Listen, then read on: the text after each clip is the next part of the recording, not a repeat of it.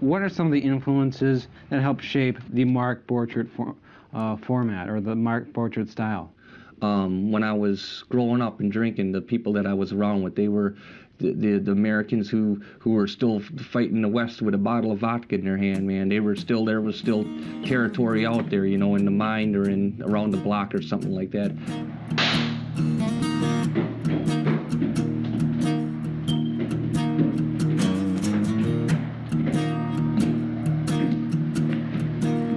Expand on that a little. I mean, this this sort of ter- uh, Okay, listen, man. They didn't. There was no such thing about college or religion or anything. There was drinking, drinking, drinking, drinking, drinking, and everything would revolve around that. The money, the time spent, everything, and it was it was America at that point.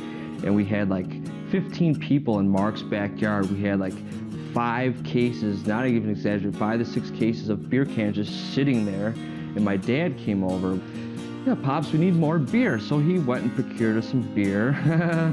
uh, came back and he, you know, drank a couple beers with us. All of a sudden, it Mark's parents pulled up. ah, my my dad immediately flanked around the uh, the garage and you know, cut through the back. He was out of there right away. Didn't want nothing to do. He knew what was going on, you know. What do you think of Ken Keene? He's a bad influence, and Mark is a bad influence for Kenny.